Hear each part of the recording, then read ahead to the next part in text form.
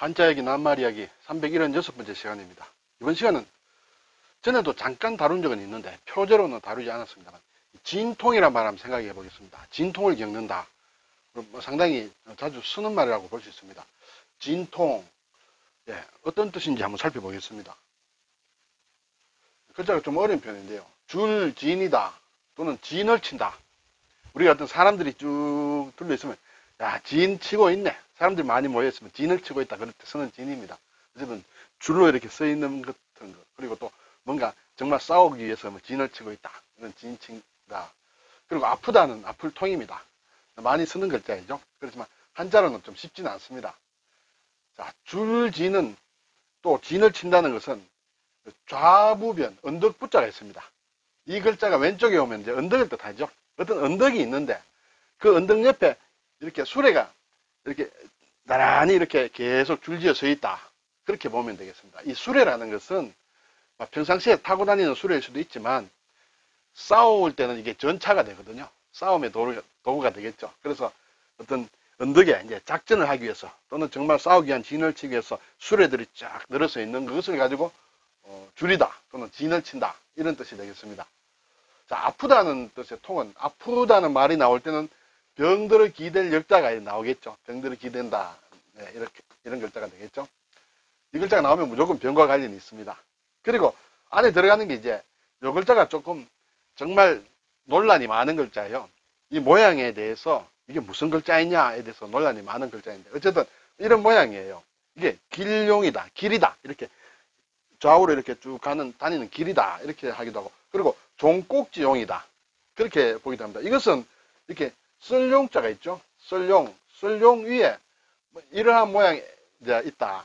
결국 이 썰용자가 무슨 글, 의미냐에 따라서 학자들의 의견이 많은데요. 뭐 저는 이렇게 어, 이렇게 구멍이 어, 속이 빈 통이다. 통의 모양은 통은 이렇게 사용이 용도가 많죠. 그래서 쓰다는 그런 뜻도 있고 어떤 사람들은 이것을 나무로 이렇게 둘러 막은 어, 목책이다 이렇게 하는 사람도 있고 또 어떤 사람은 이게 종의 모양이다. 종이라고 했습니다. 종꼭지, 종의 모양이다. 종이 있고 종을 걸기 위한 꼭지가 있죠. 종을 종을 만들면 이제 위에 걸도록 해야 된다. 그래서 이것이 종의 모양이다. 여러 가지가 있습니다. 그런데 저는 이렇게 좀 통한다. 아래 위로 통한다는 그런 뜻으로 생각을 많이 하고 있습니다. 그리고 이것은 이러한 모양은 뭔가 내리 찍는다. 찍어서 이렇게 어, 튀어나오게 한다. 뭐 그런 뜻으로도 해석을 하는 사람들이 있는데요. 어쨌든 이것이 어, 길용자다. 그래서 뭔가 찌른다는 그런 의미로 볼 때는 찌른다는 것은 아픔을 얘기하죠. 그리고 병들을 기다려 합쳐서 아플 통이다. 뭐 이렇게 어, 해석을 할 수도 있겠습니다. 정설이 참 없는 그러한 글자라고 볼 수 있습니다. 어쨌든 진통이다. 우리가 진통이라면 가장 많이 생각이 나는 게 산모가 출산을 할 때 이렇게 진통이 이렇게 계속 되죠. 진통이 생기다가 좀 괜찮다가 또 진통이 생기고 이러다가 이제 출산을 하게 되죠. 거기에서 또 빗대어서 어떤 일이 이렇게 성사되기 전에 정말 어려움을 겪는 것을 진통을 겪었다. 이렇게 얘기를 많이 하죠. 어쨌든 이것이 줄진, 앞불통인데 이렇게 이 진칠진, 줄진과 앞불통이 합쳐서 지금 말씀드린 그 진통이라는 그 낱말이 성립되기가 상당히 어렵습니다. 이 뜻이 잘 통하지 않아요. 그래서 뒤에 이 글자가 어떤 용례로 쓰이느냐 그것을 보고 다시 말씀을 드리겠습니다. 자, 국어사전을 보니 해산할 때 주기적으로 되풀이되는 복통을 겪는다. 자, 산부가 이렇게 출산을 할 때는 자관 배가 이렇게 주기적으로 아프다는 거죠. 또는 그런 복통을 얘기한다. 그리고 그래서 이제 산통이라 낳을 때 어, 출산을 할 때 겪는 고통이다 해서 산통이라고도 합니다. 그리고 여기서 이제 뜻이 발전해서 사물이 이루어질 무렵에 겪는 어려움을 비유해서 이러는 말이다. 그렇겠죠. 아기가 이렇게 출산하기 위해서는 어머니가 이렇게 여러 가지 어려움을 겪어야죠. 아픔을 겪어야죠. 그것처럼 이렇게 사물이 이루어지는 과정에서의 어려움을 이 출산의 진통에 비유해서 하는 말이다. 그렇게 되겠죠. 우리가 흔히 쓰, 많이 쓰죠. 뭐 민주화의 진통이다. 뭐 어떤 성공에 이르기까지 여러 가지 진통이 있었다. 그런 얘기를 많이 합니다. 결국은 문제는 왜 그때 이 진짜가 들어가서 이런 뜻을 가지느냐 하는 그것이 문제겠죠. 그건 뒤에서 한번 보겠습니다. 자, 그런데 우리가 보면 진통은 아픔이라고 했습니다만 아픔을 진정시키는 것도 진통이에요. 진통. 이 진은 누른다는 뜻이에요. 쇠가 있죠. 세금자가 있고 참진자가 있습니다. 쇠는 무겁죠. 무거운 것을 이렇게 위에서 딱 누르는 것을 진통이라 한다. 그래서 아플 때 먹는 약이 진통제죠. 그래서 앞에서 얘기한 진통과는 뜻이 거의 반대되는 그런 뜻이다. 그래서 그것은 잘 구분해야 된다. 한자로 쓰이면 금방, 금방 알 수 있지만 한글로만 진통 적으면 조금 생각해야 되겠죠. 네. 자, 이 진짜를 써서는 문진이다 또는 서진이라는 것이 있습니다. 우리가 붓글씨를 쓸 때 이렇게 위에 이렇게 쇠막대기 같은 거나 이런 거 돌 같은 걸로 된 걸 딱 놓고 움지 종이가 이렇게 반듯하게 되도록 그렇게 하고 또 책을 읽을 때 책장이 책갈피가 넘어가지 않도록 눌러 놓는 것 그런 것도 다 문진 또는 서진이라고 합니다. 근데 이 진이라는 것은 또 누른다는 진인데 싸움에 있어서 부대의 진과도 좀 통하는 그런 것이 있습니다.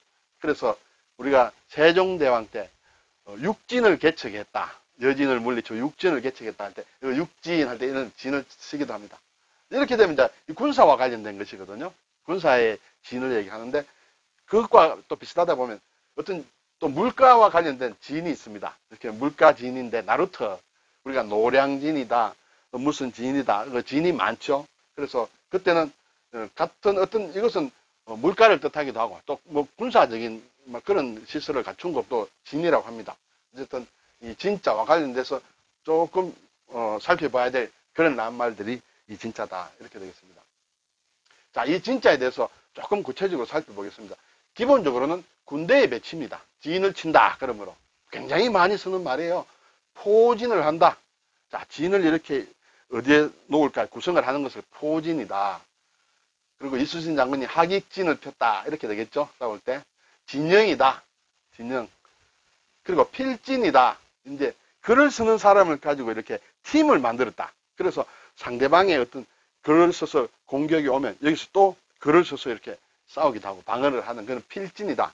주로 신문사에 뭐 칼럼니스트를 필진을 구성을 했다든지 또는 어떤 책을 만들 때, 어, 그 저자들을 합쳐서 모아서 팀을 만들어서 필진을 구성했다 할 때도 진을 쓴다. 이렇게 되겠죠. 진지, 이렇게 이제 요새를 구축하는 그, 그것을 진지라고 하죠.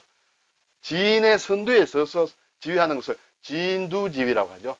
지인의 앞에서, 뒤에서 있는 게 아니라 앞에 나가서 나를 따르라 하는 것이 진두지휘가 되습니다. 자, 그런데 이 진짜는 이런 의미는 진통하고는 상관이 없어요. 이 글자가 상관이 있습니다. 이 뜻이 한바탕이라는 뜻이 있어요. 왜 진을 친다는 뜻이 한바탕이라는 뜻일까에 대해서는 사실은 정확하게 제가 발견하지 못했습니다. 단지 관습적으로 그렇게 쓰고 있다는 것이죠. 한바탕. 그리고 동작이 계속되는 어떤 특정한 시간을 얘기한다. 그러면 동작이 어, 진통이라는 것은 계속 처음부터 끝까지 아프는 게 아니라 좀 아프다가 조금 괜찮다가 또 아프고 쉬고 이렇게 되겠습니다. 그래서 어떤 동작이 계속되는 단시간이다. 그런데 이때에는 진이라는 것은 어떤 한 단위만 얘기합니다. 그래서 예를 들어 일진광풍이 분다 하는 것은 한바탕에 아주 바람이 미친 듯이 분다 하는 게 일진광풍입니다. 그때는 일진이라고 쓴다. 일진. 그러면 두 바탕이 부는 것은 이진이냐 그런 건 아닙니다. 이때는 이런 의미로 쓸 때는 이게 한 번이란 일자와 관련이 됩니다. 일진만 관련되지 이진, 삼진에 바람이 분다 이렇게 얘기하는데 일진에 한바탕에 바람이 분다. 그래서 여기에서도 한바탕에 아픔이다 이런 것이에요. 한바탕 휘몰아 쳤다. 뭐 그런 뜻으로 어, 용례로서 이렇게 쓰는 그, 어, 낱말이다 이렇게 볼 수 있습니다. 줄이다, 진이다. 이것과는 그렇게 새기면 좀 어려운 것이 어, 진통이다. 이런 말이 되겠습니다. 자, 지금 제가 줄진, 진칠진이라고 말씀을 드렸는데, 이 혼동하기 쉬운 비슷한 것들 하나 있습니다. 이렇게 언덕이 있고, 그렇죠? 어, 왼쪽에 있으면 언덕입니다. 언덕이 있고, 차를 이렇게, 수레를 놓은 것은 진을 치는 것인데, 여기 오른쪽에 동력동자가 있습니다. 자, 동력동을 놓으면 어떻게 되냐면, 이 동력동은 동쪽이란 뜻으로도 많이 쓰이지만 원래는 어떤 물건이 있는데 짐이 있다 이거예요. 짐이 있는데 이것을 짐을 꿰뚫었다. 꿰뚫어서 왜냐? 물건을 이렇게 앞뒤로 사람이 메고 가기 위해서 그렇게 짐을 묶은 모양을 얘기합니다. 결국 이 말은 언덕 앞에 또는 어떤 특정한 장소에 물건을 이렇게 쭉 내려다 놓는 것을 얘기합니다. 여기는 수레를 내려놓으면 지인이고 물건을 내려놓으면 펼친다는 뜻이에요. 지인, 펼칠 지인. 그래서 우리가 가게 상품을 진열한다 할 때 이렇게 진열한다. 뭔가 쭈르르 늘어놓는 것을 진열을 합니다. 그리고 이 진은 또, 또 다른 뜻이 있는데 시간이 어, 지나서 낡는다. 자, 물건을 이렇게 쭉 늘어놓고 시간이 오래되면 조금 어, 낡아지겠죠. 그래서 어, 그때 이제 진부하다. 우리가 참신하다의 반대말이 이제 진부하다. 낡았다 이거. 낡고 썩었다. 진부한 생각, 고루한 생각. 너무 진부하게 생각한다는 것은 아주 낡은 방식으로 오래된 것으로 생각하는 것을 진부라고 합니다. 그래서 우리가 신진대사 할 때도 새로운 것과 낡은 것이 몸속에서 체내에서 어떤 어, 작용을 해서 스르스르 이제 낡은 것은 물러가고 세포가 낡은 세포가 없어지고 새로운 세포가 돋아나시 또는 여러 가지 장기의 변화 그런 것은 이제 신진대사란다. 물질대사 할 때 이 진짜가 있다. 상당히 중요한 글자가 되겠죠? 그리고 이유를 들어서 말한다. 자 뭐 물건을 펼쳐 놓듯이 누구한테 가서 얘기를 하는데 하나 하나 하나 하나 조목조목 이유를 들어 말한다. 그래서 진술을 한다. 자 진술을 하라. 첫 번째 뭐냐? 두 번째 뭐냐? 이렇게 내려놓아서 얘기하는 걸 진술한다. 그리고 자기가 어려움이 있을 때 어떤 어, 정부 기관에 가서 얘기하는 거 진정서. 내 지금 상황이 이렇다. 이렇게 해서 진정을 내는 걸 진정서 이렇게 되겠습니다. 글자가 진칠 진자와 어, 펼칠 진자는 상당히 헷갈리기 쉽다. 그렇지만 펼칠 진도 상당히 중요한 글자인 것을 우리가 알 수가 있습니다. 제가 이렇게 좌부변을 말씀을 드렸어요. 이것이 왼쪽에 오면 좌부변이고 오른쪽에 오면 우부방이 되겠죠? 오른쪽 글자 오른쪽은 방이 되고 왼쪽은 변이 됩니다. 이것의 원래 글자는 언덕부자예요. 자, 언덕처럼 생겼습니다. 뭔가 이렇게 뭐 흙이 흙덩이가 이렇게 많이 쌓였다 이렇게 볼 수가 있겠죠. 흙덩이가 이렇게 쌓인 언덕이다. 네, 뭐 이렇게 볼, 수, 볼 수가 있겠습니다. 그래서 이것이 언덕이란 모양의 언덕부자가 이제 다른 글자와 합쳐서 변으로 쓰일 때는 모양이 이렇게 바뀌었다는 것이죠. 좀 뭐 좀 비슷하다고 볼 수 있습니다. 그런데 고을을 뜻하는 고을읍도 자, 이 모양은 이제 바뀐 거예요. 이것은, 이거, 이 모양이죠. 이 파자인데 이것이 이렇게 바뀌었다. 근데 어쨌든 공교롭게 이름이 똑같아요. 모양이 똑같이 이제 바뀐 거예요. 자, 그런데 이 이름이 이것은 좌부 변이라 한다. 자, 왼쪽에 있으니까 좌 들어가면 되겠죠. 오른쪽에 있으므로 변이 됩니다. 부는 뭐냐? 부는 이 언덕부에서 온 이름이에요. 언덕부에서. 그러면 이것은 이름이 왜 우부방이냐? 우읍방 해야 되는 거 아니냐. 그렇지만 모양이 같으므로 오른쪽에 있는 언덕부자처럼 생겼는데 방으로 서 있는 것이다. 그래서 어, 왜 부자가 들어갈까?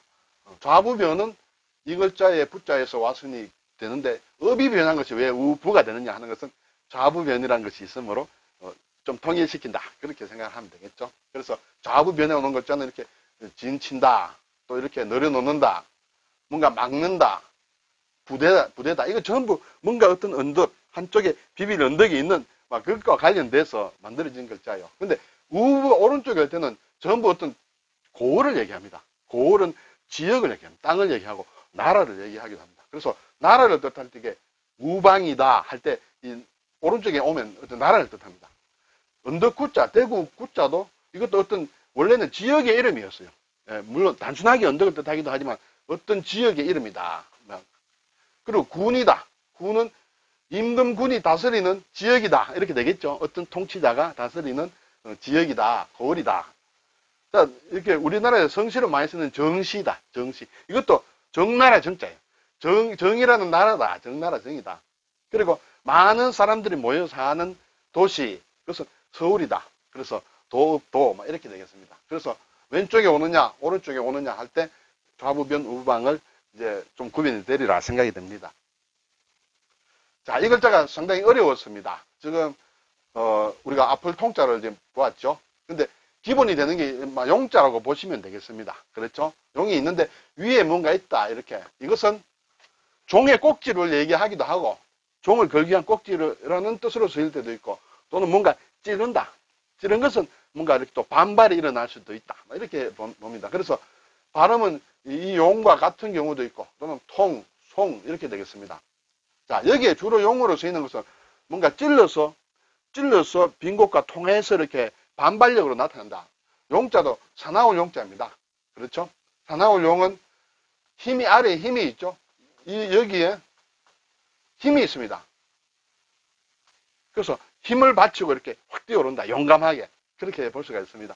물론 아래 글자는 이렇게 또 변해서 어, 남자 남과 비슷하게 보입니다만 남자 남일 때는 이렇게 발전이 되겠죠. 발전이 되, 어, 되는데 어, 용감할 용은 사실은 이 용자에서 온 것이다. 이렇게 되겠습니다. 그리고 발을 붙이면 발을 가지고 뛰어오른다. 그랬어요. 발로 뛰어오르면 무용할 때 용입니다. 무용할 때는 어, 이렇게 발이 뜨게 되겠죠. 그리고 사람이를 붙이면 이거는 이제 사실은 허수아비라는 뜻이에요. 왜 이것이 허수아비라는 뜻인지는 제가 어, 정확하게 찾아봐도 잘 안 나와서 일단 그대로 외울 수밖에 없다. 흙으로 만든 인형을 토용이라 하죠. 사람이 옛날에 높은 사람이 죽으면 순장을 할 때 사람 대신에 인형을 만들어서 또는 뭐 개나 이런 짐승 대신에 그 인형을 만들어서 같이 묻었다. 그런 것이 되겠습니다. 그리고 삼수변이 들어가게 되면 물이 이렇게 솟아오르는 것이에요. 용솟음 친다. 우리가 우리말로 어, 물이 용솟음 친다 할 때 이 한자를 씁니다. 용솟음 친다. 이게 같은 글자인데 그래서 용솟음 친다 할 때는 한자 하나고 뒤에는 솟음 친다는 우리말로 쓰인다. 통은 이렇게 이제 발음이 통자인데 앞을 통과 마찬가지로. 자, 이거는 이제 길을 통합니다. 어떤 길을 통과한다, 뚫고 지나간다. 그런 뜻이에요. 이것은 이제 나무로 만든 통을 얘기해요. 나무통 할 때는 나무목이 들어가서 어, 통이다. 그리고 말씀문이 들어가면 송이다. 상당히 경우에 따라서는 조금 어, 대본에 이렇게 머리에 들어오지 않을 경우가 있습니다만 좀 신경 써서 몇번 어, 외워주셔야 되리라 생각이 듭니다. 자, 오늘 진통, 한바탕 왔다 가는 아픔을 얘기한다. 일진 광풍은 한바탕 부는 정말 큰 바람, 어, 일진 광풍이라 한다. 포진, 진을, 진지를 이렇게, 어, 쌓는 것을 포진한다. 진두지휘. 이런 것처럼 한번 살펴보았습니다. 수고하셨습니다.